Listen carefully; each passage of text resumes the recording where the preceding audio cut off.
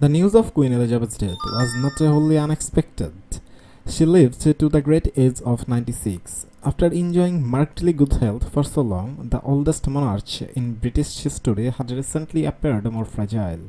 She had understandably become a more private woman since the death of Prince Philip last year, and had been less publicly visible, undertaking lighter duties.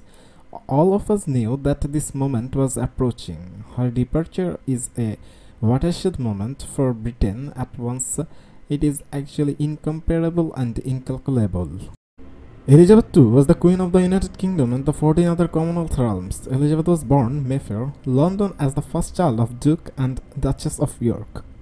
Her father ascended to the throne in 1936 upon the abdication of his brother King Edward VIII. The Queen came to the throne in 1952 and witnessed enormous social change. It makes both the loss of a revered monarch the only one most Britons have ever known, and the end of a figure who served a living link to the glorious World War II Britain, presided over its fitful adjustment to a post-colonial and a post-imperial era. There is no analogous public figure who will have been mourned as deeply in Britain. Winston Churchill might come close, or whose death could provoke a great reckoning with the identity and the future of the country. Elizabeth's extraordinary longevity lent her an air of preeminence that makes her death, even an advanced age, somehow shocking. Her son, King Charles III, has said the death of his beloved mother was a moment of great sadness for him and his family, and that her loss would be deeply felt around the world, and this is very much true.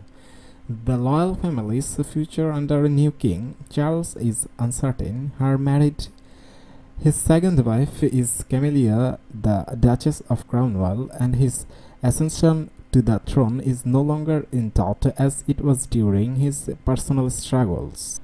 The royal family has now entered a period of mourning. Officially, engagements will be cancelled and Union flags will be flown at half-mast on royal residence government buildings across the armed force and the UK post overseas. As this was the great loss indeed. Well, we all have to die, and that's the final truth. Wishing her a rest in peace. And that's all from today, guys. So if you're new, make sure to subscribe the channel for more of the updates. See you all soon. Till then, have fun, good luck, and peace. We'll